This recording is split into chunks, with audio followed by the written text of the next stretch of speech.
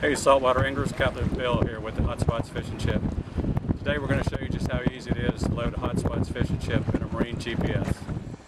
Okay saltwater anglers, here we are with a Humminbird, the 798C model, and we're going to load a Hot Spots Fishing Chip into it and show you just how easy it is.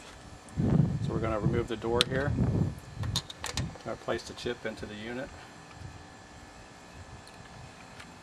and watch the screen real carefully.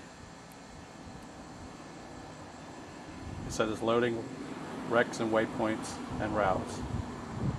And I mean, it loaded 457 fishing spots just like that. At this point, we can go ahead and take the chip back out. We can put the door back on it. And then we can, this particular one is for the Georgia area, Georgia coast, as you can see. We can go ahead and zoom in here. And see all these fishing spots that just got loaded just that quick. And it takes a little while for these things to populate on here. The processor is kind of working overboard reading all these names and things, but you can you should be able to see that. See like these wrecks here and these redfish spots back in through here.